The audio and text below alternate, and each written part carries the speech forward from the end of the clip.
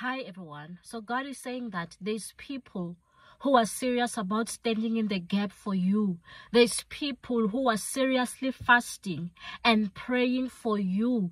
God is using them to bring the answer into your life. And the reason why God is using them to bring an answer to your life is because you have chosen to be selfless as well. You have chosen to take on other people's battles. That is why God has also assigned other people to take take care of your battles. The same thing also happened in the book of Esther, chapter 4, when Mordecai gave a message to Esther that the Jews are about to be destroyed, so she must act. And then she said that she hadn't been called to the king's court in over 30 days.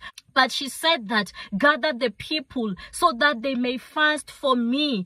And so when they were fasting for her, the barrier in her relationship, the barrier in her marriage, it was broken because if she found so much favor with the king after that, the king was willing to listen to her and even offer her up to half of his kingdom. So God is also saying in your life, because you are not being selfish, because you are busy fighting other people's battles, there's also other people who are fighting your battles, and you are soon going to also get your breakthrough. She needed the breakthrough in terms of her marriage. Esther needed the breakthrough in the area of her marriage, and because of their prayers, she got that breakthrough. So God is also saying that He sees all that you are doing. It is not in vain. You are also going to get your breakthrough in the mighty name name of Jesus. Amen.